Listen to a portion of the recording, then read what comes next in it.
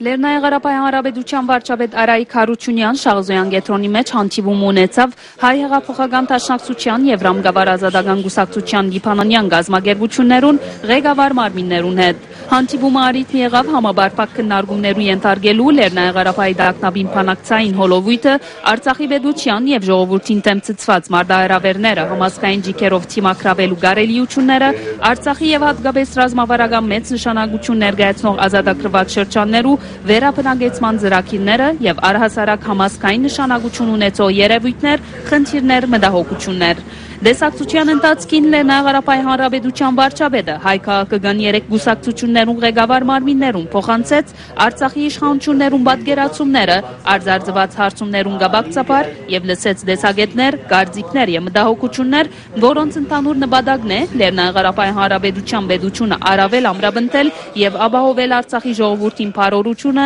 զարգացումը եւ ապահովությունը։ Հանդիպումին շեշտվեցավ կորձակցության առավել ամրապնդման կարևորությունը՝ Իշահ Լեռնային Ղարաբաղի Հանրապետության հզորացման։